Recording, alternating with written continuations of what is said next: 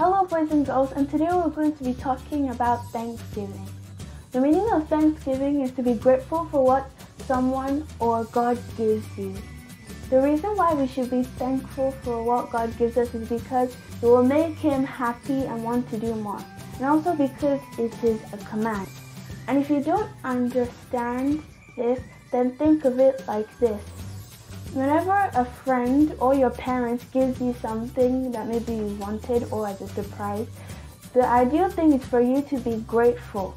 And when you're grateful or say thank you, then it will make them want to do more. So that's a very important reason.